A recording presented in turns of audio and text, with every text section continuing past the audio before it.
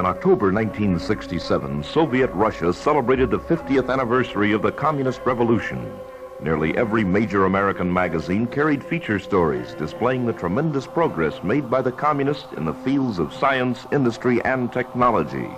This segment of the news media was telling the American people that the communist system was enormously successful, if not wholly desirable. Honest history, however, presents a somewhat different picture of a nation that has, time after time, been saved from disaster through transfusions of food, money, and technology from the West, its avowed enemy.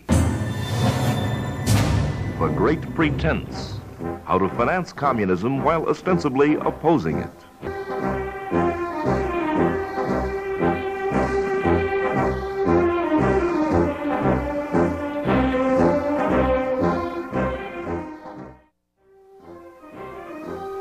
The takeover of Russia by Bolshevism was not a spontaneous revolution of landless peasants and workers, but was a carefully designed plot, organized and financed from outside of Russia.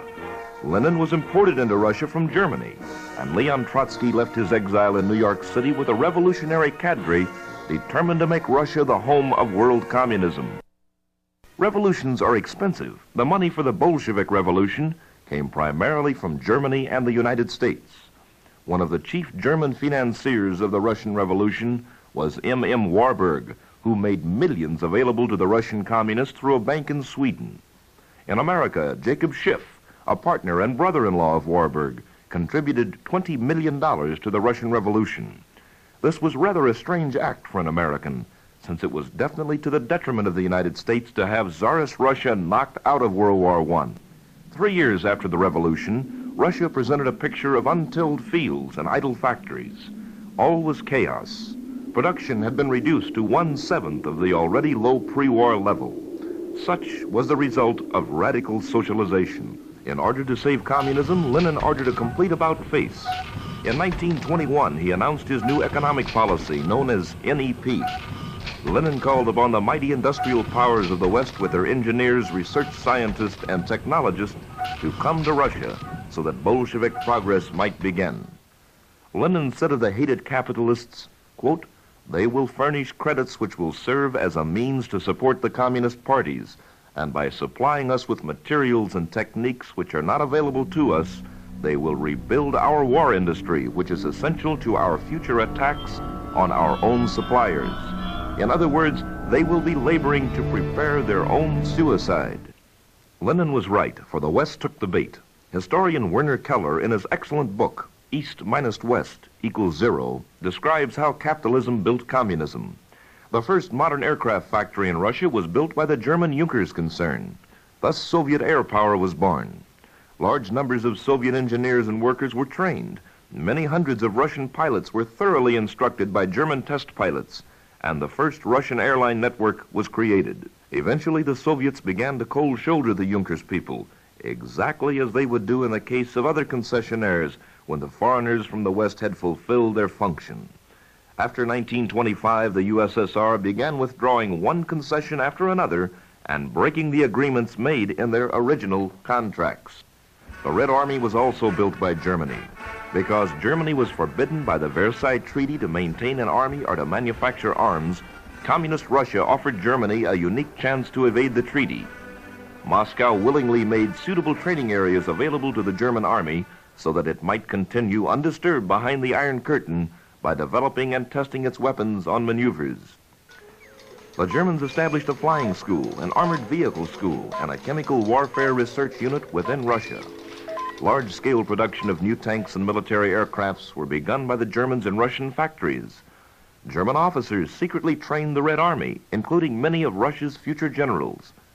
Russia's most famous general, Gregory Zhukov, was himself a product of German staff schools. Ultra-modern gold mining installations were constructed in Russia by Lena Goldfields Limited, an English firm. As soon as the gold field was developed, the English were ousted. The gold mine from the Lena field by hundreds of thousands of slave laborers provided much of the money with which Russia paid the capitalists for building the industrial capacity of the USSR. Other foreign exchange money was obtained by deliberately starving to death millions of Russians so that wheat could be exported. The United States has been Russia's prime patron ever since the Russian Revolution. In 1921, Herbert Hoover set up an international organization to end famine in Russia. The United States alone sent 700,000 tons of foodstuffs. This was a prime example of misplaced idealism and charity. While many lives were saved, the communist system was also saved, with the result that millions have lost their lives and the Russian people were deprived of their best opportunity to throw off the yoke of their slave masters. Even though there were no diplomatic relations between Moscow and Washington, American industrialists made private agreements with the Soviet Union. Thus, U.S. firms acquired gold prospecting rights. The Standard Oil Company won an oil boring concession. Averell Harriman built mines to work manganese ore deposits. General Electric sold Moscow electrical equipment to the value of over $20 million, and other American firms set about re-equipping Russian industry. From 1921 to 1925, $37 million of machinery and equipment were pumped into the Soviet economy by American industry. In 1928, the NEP was replaced by the first five-year plan, which promised to transform the Soviet Union from an agricultural into an industrial economy. Such a vast project was impossible without the active help of Western industry and its unlimited supplies and expert technical knowledge. By the time the first plan was announced, the essential contracts had already been signed by Western firms, which was why the Soviets appeared so confident in projecting their goals. Unobserved by the American public, some of the largest American industrial concerns which were steadily insulted in the Soviet press as, quote, the last strongholds of imperialist capitalism, began doing business with the communists orders worth millions of dollars poured into the offices of these great firms. In 1930, the Bolsheviks arranged for the Ford Motor Company to establish the Russian motor car industry. The Soviet representatives signed contracts with Henry Ford for patent licenses, technical assistance and advice, plus an inventory of spare parts. Ford technicians were sent to Russia to train the Russians in assembling automobiles. The factory was to be capable of turning out 140,000 cars a year, and an Ohio construction company contracted to build the factory. The town of Gorky was transformed into the Detroit of Russia. The Russian steel industry is another example of Russian power made in the USA. A Cleveland firm contracted to do nothing less than rebuild a copy of the city of Gary, Indiana, the center of American iron and steel industry, on Russian soil. This was to be the huge Soviet steel complex, Magnitogorsk. Without iron, there can be no steel. Without steel, no heavy industry. And without heavy industry, no Bolshevik power to bury the West. Americans made Magnitogorsk the biggest iron and steel works in the world. Tractors were a necessity to modernize Soviet agriculture. A Detroit engineer designed and constructed a tractor factory without parallel in any other country. The assembly works were 2,000 feet long and 650 feet wide, covering an area of 30 acres. The tractors produced were copies of the American Caterpillar Company, but there were no arrangements made for payment for use of the patent. Russia merely bought one sample and copied it. The factory was so designed that production could be adapted almost overnight to the production of another, less innocuous commodity, tanks. The communists achieved a propaganda victory by distributing millions of pictures around the globe of the world's largest hydroelectric installation and dam at Dneproges. It was considered a classic of communist development. Actually, it represented the peak of American achievement. It was designed and built by Colonel Hugh Cooper, who built the dam at Muscle Shoals, Tennessee. The power plant increased Russia's hydroelectric system output by six times and produced more power than Niagara Falls. Still, by 1933, Russia was once again on the verge of collapse. And again, it was America which saved the communist regime, this time through official diplomatic recognition of the communists. On the verge of financial collapse, Russia had been staying alive by what amounted to the kiting of checks on an international level. When President Franklin D. Roosevelt reversed the position of four other United States presidents and recognized the legitimacy of the communist government, the prestige and thereby the credit of the communists skyrocketed overnight. In return for recognition, Maxim Litvinov promised FDR that the American communists would cease calling for the overthrow of the United States government and the establishment of a red dictatorship in America. It was not until the advent of World War II that the anti-American propaganda was played down in the American communist press, which at that time had a circulation of millions. Ignoring the Russian invasion of Poland, Latvia, Estonia, Lithuania, and Finland, the American government and the American press heralded the Soviets as great believers in liberty and democracy during World War II. In view of the communist unbroken record of calling for world conquest by communist imperialism, there was no reason why anyone in America should have been so fooled. But once again, the United States saved the Soviet Union from destruction through the medium of Lend-Lease. While many Americans felt that the world's two worst criminal dictators, Hitler and Stalin, should be allowed to fight each other to the death, America intervened with all its might on the side of the Red Dictator. A man in charge of Russian Lend-Lease was the mysterious Harry Hopkins, the alter ego of Franklin D. Roosevelt, who actually lived in the White House. Writer-historian William Henry Chamberlin has written that Hopkins was, quote, after the president, the most powerful man in America during the war. Hopkins, at a Russian aid rally in Madison Square Garden in June 1942, said, quote, We are determined that nothing shall stop us from sharing with you all that we have. Major General John Deane, an expert on Russian Lend-Lease, said that Hopkins' desire to help the Russians was, quote, carried out with a zeal which approached fanaticism.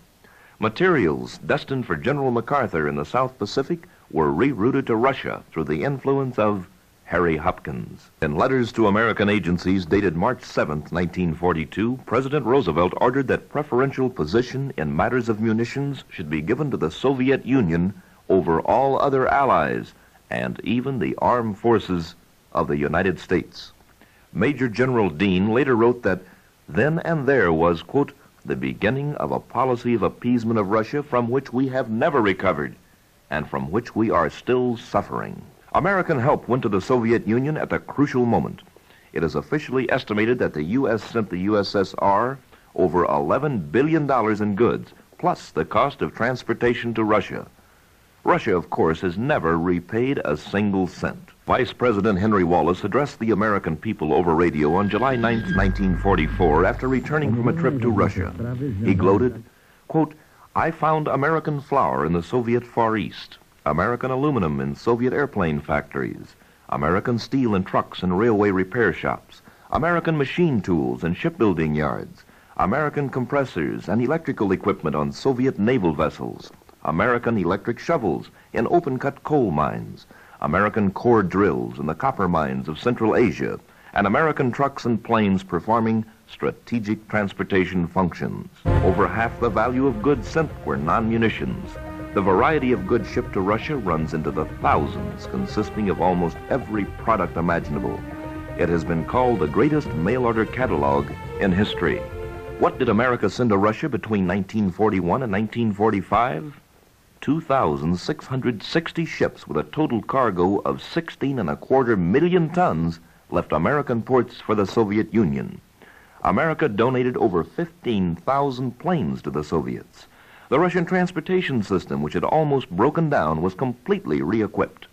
1,900 steam locomotives and 66 diesels were sent by the U.S., together with 10,000 railway cars, shipload after shipload of machine tools, complete industrial plants, spare parts and armaments, textiles and footwear were unloaded in Russian ports. Of inestimable value were the supplies of foodstuffs. Nearly four and one half million tons of tinned meat, sugar, flour, and fats were sent from America. Gold mining equipment from American mines, which had been closed by government orders, were shipped to the Russians at the express orders of the Treasury Department's Harry Dexter White who was later proven by the FBI to be a Soviet spy. According to Viktor Kravchenko, who defected from the Soviet Union after serving in America during World War II, all Russian personnel sent to this country during the war had two jobs. First, his regular job, and second, that of being a spy. Among the agents posing as unimportant minor officials were famous scientists and high-ranking officers with special technical qualifications. Some of the Soviet experts were camouflaged as ordinary workmen. Their job was the theft of technical and scientific secrets from American industrial concerns. The headquarters of the Soviet espionage ring was in Washington, and the Soviet Purchasing Commission called Amtorg, which was officially concerned with administering Lend-Lease. The government watched the activities of the Soviet agents with incredible tolerance. The worst that could happen to an agent was a polite request that he leave the country. In such cases, an official of the FBI would accompany the agent to the boat or plane leaving for Moscow, but without checking his luggage or briefcase.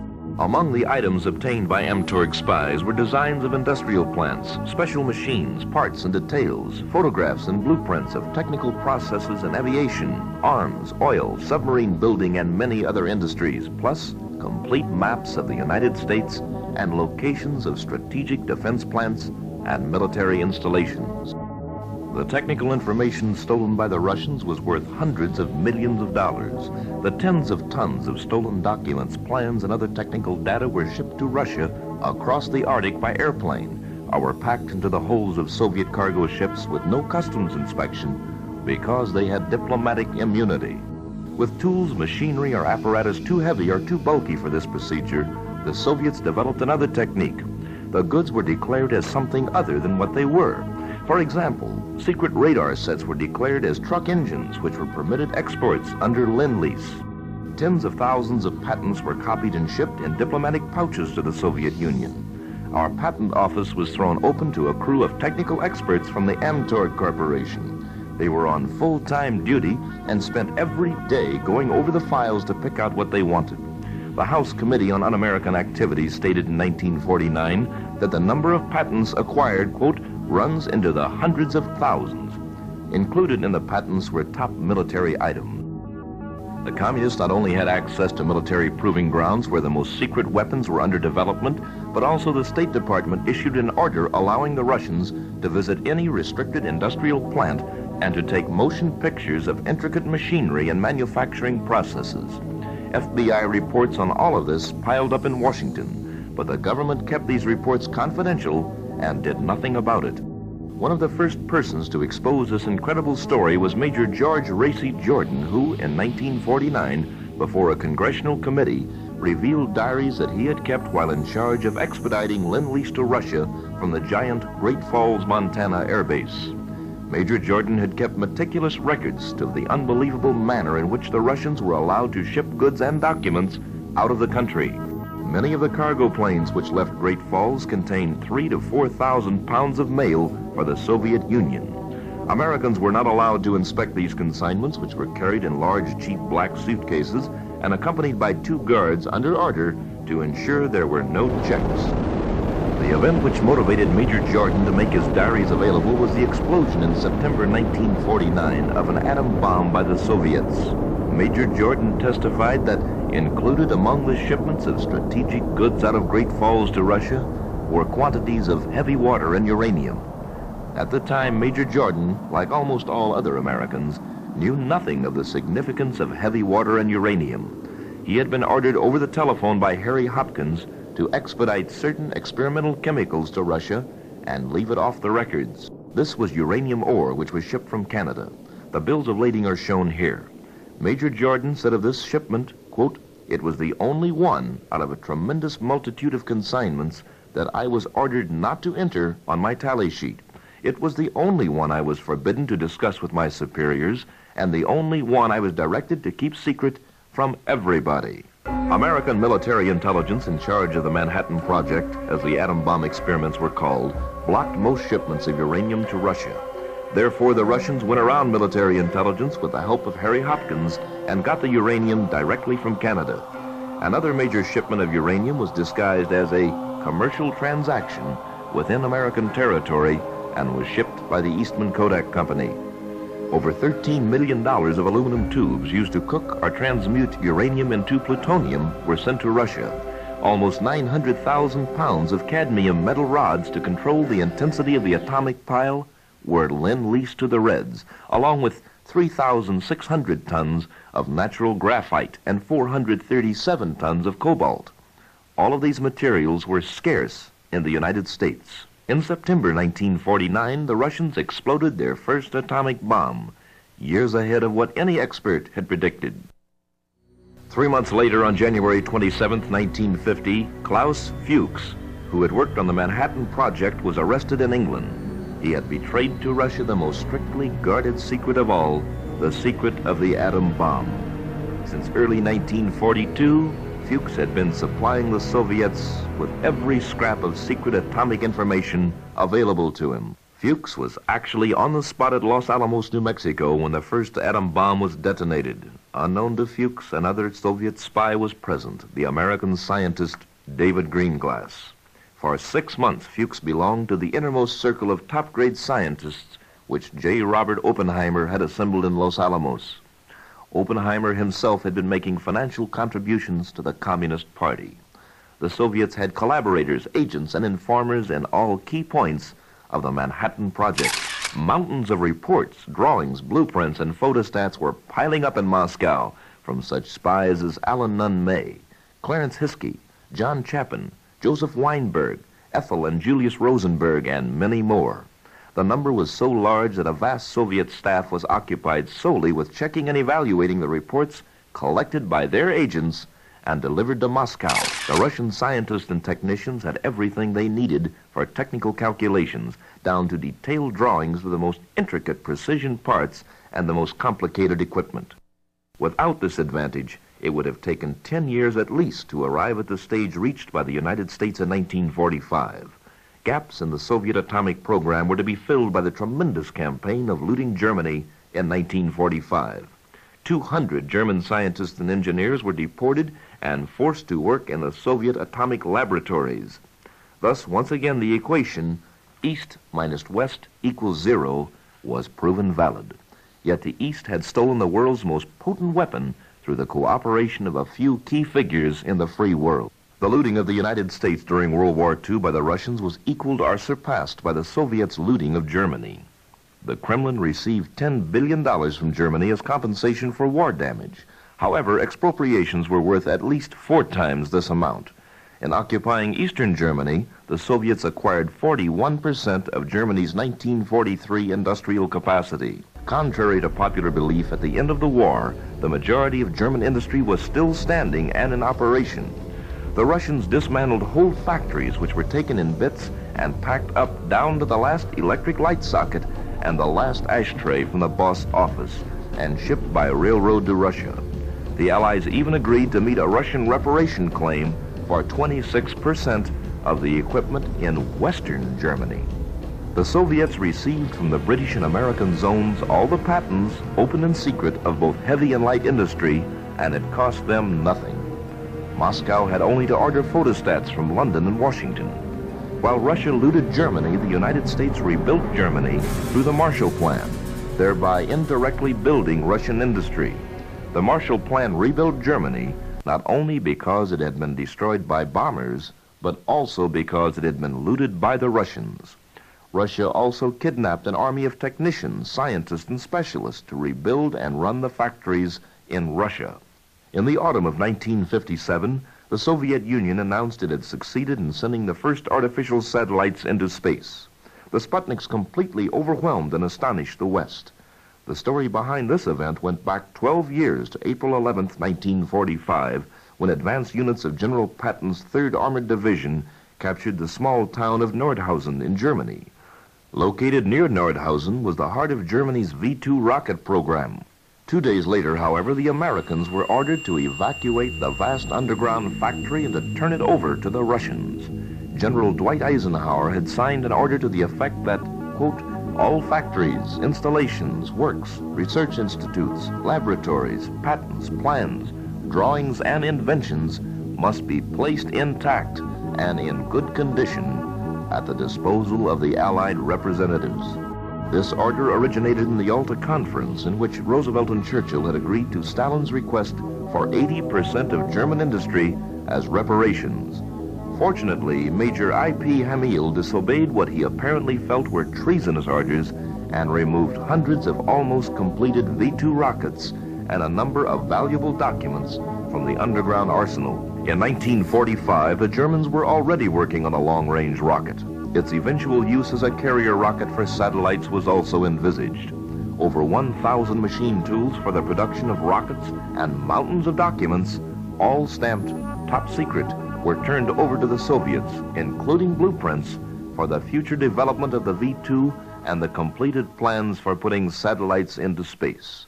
Lieutenant Colonel Vladimir Shabinsky, a Russian officer in charge of looting the Nordhausen factory who later defected to the West, said that when the works was complete, the Russians drank toast shouting, quote, what fools these Americans are.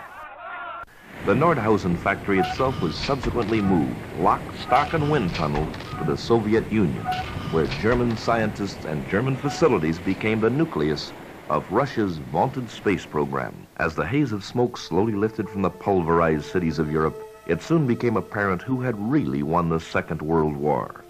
The Soviet Union could count enormous territorial gains and a vast amount of human skill and industrial potential had fallen into its lap. We went to war to guarantee that every nation in the world would be free from foreign domination. Then we turned over European and Asian nations to the communists. The gobbling up of Central Europe and the inserting of communist puppet regimes was partially financed by billions of American dollars given through UNRRA, supposedly to help war-ravaged Europe. Under the guise of stopping communism, the foreign aid program was instituted we have now spent 152 billion for foreign aid. While some of it has been useful, much of it has gone to socialist and communist countries. The communists have kept their peoples in slavery with American foreign aid money. After 20 years of foreign aid, freedom is in retreat all over the world. Communism has been a perennial failure in food production. The Red Slave Empire cannot feed itself without food from the West. Although it is a closely guarded secret how much wheat we have provided the Soviets, in the span of little over one month during 1964, America delivered to Soviet Russia over 65 million bushels of wheat. This is the equivalent of one bushel of wheat for every third man, woman, and child in the Soviet Union. The wheat deal was subsidized by American taxpayers to the tune of $42 million, according to former Secretary of Agriculture Ezra Taft Benson. Meanwhile, Russia was shipping wheat to Cuba, and some of it was employed to produce ethyl alcohol used in certain types of missile fuels. Those who support the diversion of Russian workers from the fields to the war factories to produce weapons to kill American soldiers defend their actions on the grounds that it is humanitarian and good business. The Vietnam War is now the longest war in American history. Many Americans are baffled over the inability of the world's most powerful nation to win a war with a 30th rate power the size of the state of Missouri. The answer lies in the interlocking policies of no win, combined with aid to and trade with the communists.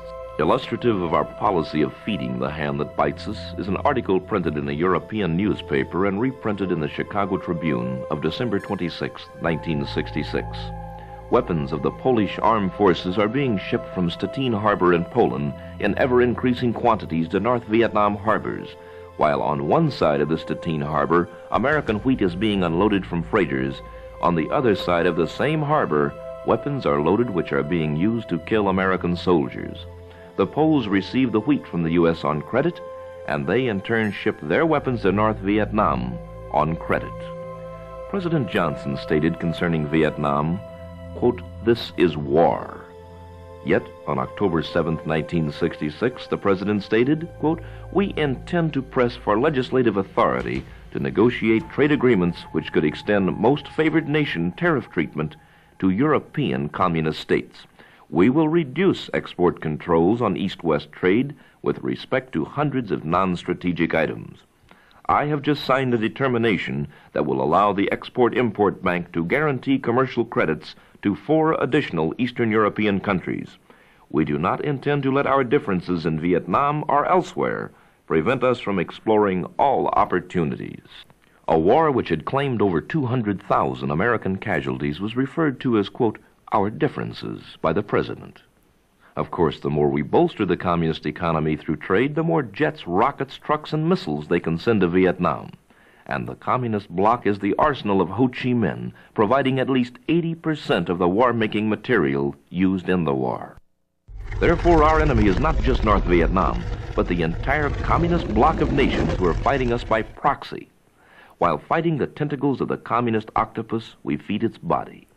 Fighting them in Vietnam while we help them in every other place is described by the government as a, quote, flexible policy. President Johnson was not kidding when he spoke of building bridges with the communists in October 1966. On October 13th, the New York Times announced that the Department of Commerce had authorized shipment of more than 400 heretofore strategic items to communist countries. The administration took no chances on obtaining congressional approval of its communist trade expansion program, but did it by executive order. According to the New York Times, among the 400 items which became non strategic at the stroke of a pen were rubber, petroleum, chemical compounds, medicines, plastics, metal products, machinery, and scientific and professional instruments. It is significant to note that our government now considers petroleum as non strategic. U.S. News and World Report of January 30th, 1967 stated the North Vietnamese war machine runs almost entirely on Russian oil. It was the hope of millions that the Nixon administration would bring about drastic changes in our foreign policy and that President Nixon would bring about a halt to our suicidal trade with the communists. However, these hopes were dashed on November 12, 1968, only seven days after his election, when President-elect Nixon announced, quote, no foreign policy shift. This was emphasized on February 10, 1969, when Secretary of Agriculture Clifford Hardin said he favored the continued sale of wheat to Russia, even though some of it might ultimately reach communist China. In Vietnam, we are at war against ourselves. We are, in essence, financing and equipping both sides. Hardly anyone would suggest we sell missiles and tanks to the communists. However, we send machinery that can be used to produce tanks and missiles and call that peaceful trade. Without our help to communist countries, the war in Vietnam would be over within a few weeks. Without our aid in trade, the communist arsenals would dry up. Yet this surest and most humane way of winning the war in Vietnam is never discussed by Washington or the mass media. Instead, we are sending the communists such non-strategic products as airborne radar equipment, metal cutting machines, turbines, generators, IBM computers, pipeline compressors, nuclear radiation and detection instruments, railway equipment, and jet engines. During World War II, anyone who advocated providing the Nazis with such equipment would have been universally denounced as crazy or worse. During that war, we lost hundreds of airplanes and thousands of aviators bombing the critical German ball bearing works at Schweinfurt. Today, we sell the communist ball bearings, on credit, of course. Our first representative at the Paris Peace Conferences, Averell Harriman, said that those who oppose aid and trade with communists are, quote, bigoted and pig-headed. The State Department has issued a pamphlet heaping scorn on those who oppose trading with the communists. The pamphlet states, quote, this small group has tried to label our moderate peaceful trade with Eastern European countries as a sellout to communism. According to a Joint Chiefs of Staff report, we not only indirectly supply the Viet Cong, we also guarantee to keep the supply lines open by failing to destroy the communist ships delivering the war materials. An American pilot can fly over a Soviet ship carrying ground-to-air missiles made with metals from mills built with the United States foreign aid money, but he is under orders not to bomb that ship. The next day, the missiles from that ship may kill him. Even more incredible than allowing the communists to deliver war material by sea is the fact that the U.S. is helping to build a highway complex which will link the USSR with nearly all of Southeast Asia, including Vietnam. Unknown to virtually all Americans, the United States since 1959 has been working with Communist Russia to build a paved highway from the Soviet Union to Singapore. While the value of red trade is enormously important to the communists, it is insignificant as a stimulus to the American economy. Supporters of the red traders in Congress justify the subsidizing of the communists by claiming that it helps our chronic balance of payments deficits. Yet these same congressmen continue voting to pour out billions of dollars a year in foreign aid, the real cause of the balance of payments deficits. Congressman Glenn Lipscomb, one of the few congressmen who has openly opposed aid and trade to the communists, has stated, quote, the cost of replacing U.S. attack aircraft destroyed during the current fiscal year 1966, by weapons built by the Soviet Union and communist Eastern Europe could be at least five times the dollar value of U.S. exports to the Eastern Communist bloc.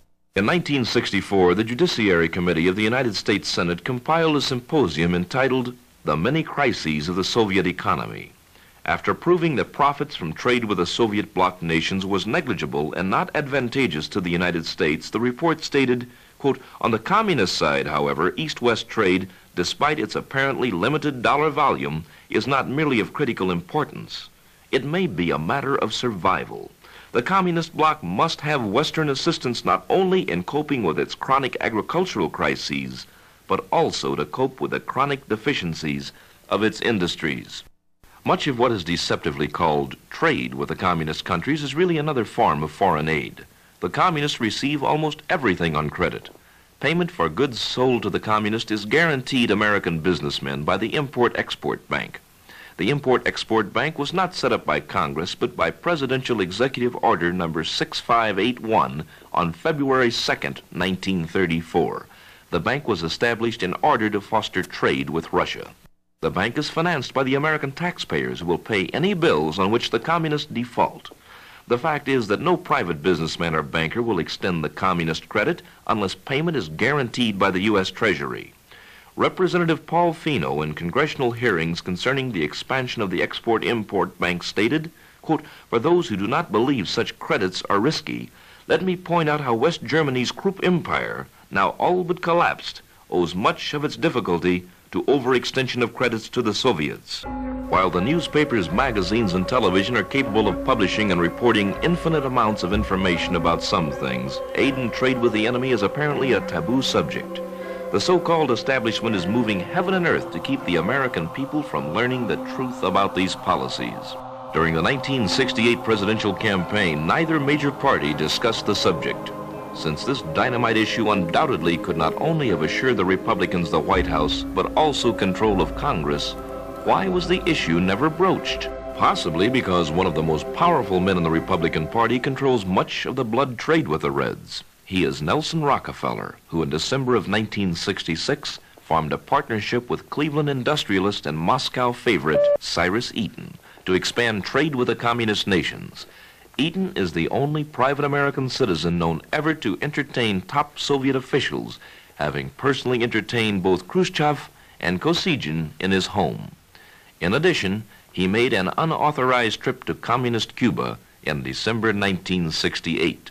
Besides promoting trade, Rockefeller is arranging to construct strategic synthetic rubber and aluminum factories behind the Iron Curtain and has reached an agreement with the official Soviet licensing and patent organization covering licensing and patent transactions. The Eaton Rockefeller Combine, according to the New York Times, was to take over the buying of licenses and patents from the Amtorg Trading Corporation, innocently described by the Times as, quote, the official Soviet agency in this country for promoting Soviet American trade. The Times quotes Cyrus Eaton as complaining that Amtorg had difficulty in trying to arrange agreements with American companies. As you can imagine, Eaton said, it is almost impossible for a Russian to walk into the research department of an American aerospace company and try to arrange the purchase of a patent. Eaton and Rockefeller are therefore relieving the communist of this difficulty by serving as official agents of the communist.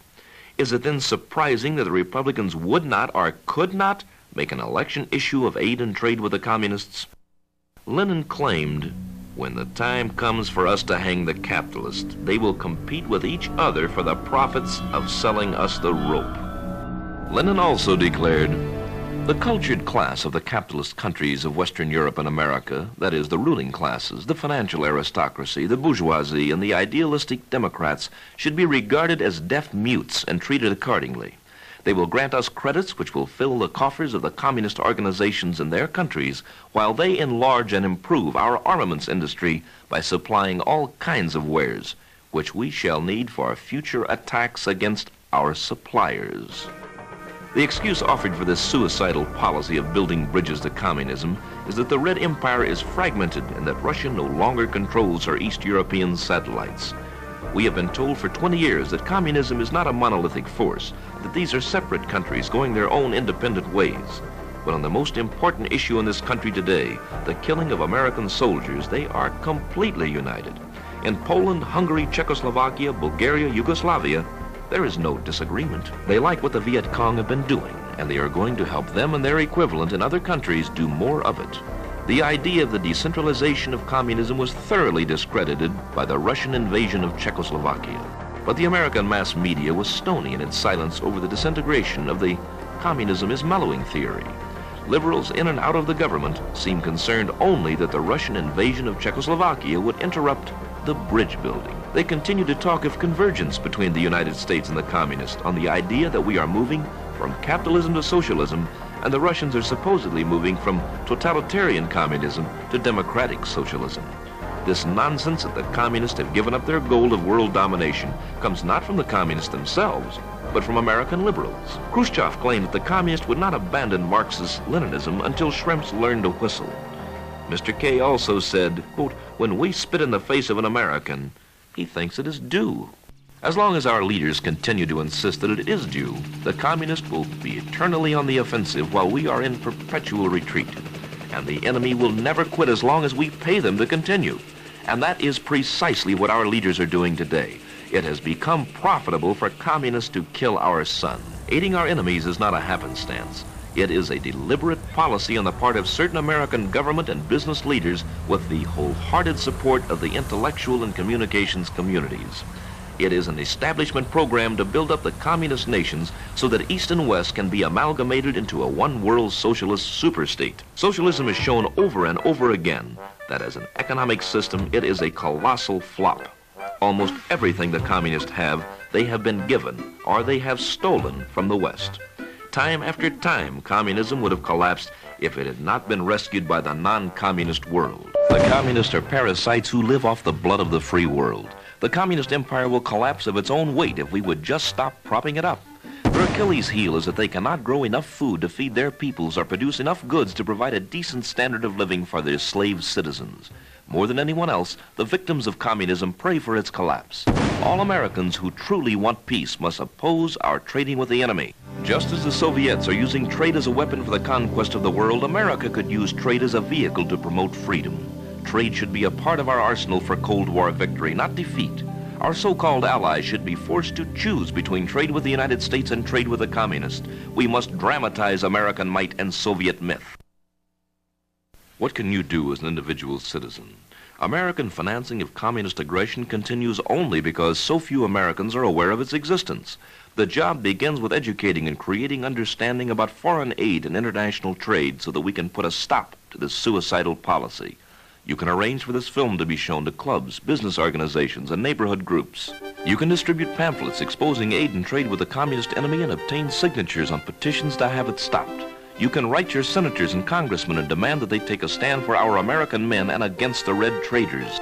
Probably the most effective action is to join a local train committee. Train committees are groups of local citizens who are concerned about our long-range foreign policy. Their immediate goal is to create sufficient grassroots understanding about American aid to the communist bloc countries. This aid is being converted to war material to kill American soldiers. Your influence is invaluable. Exert that influence now and help save American lives. If the United States of America falls victim to red tyranny and slavery, it will have been an inside job and the epitaph will read, Here lies America, murdered by the guns she gave her avowed enemies. The insiders have built the communist world on your tax dollars, moving like a spreading cancer. We have discovered the disease. Now tell the surgeons in our nation's capital you want it cut out. Then make certain we maintain a constant alert for new symptoms. We must keep our patient alive. She is the only one history has ever known.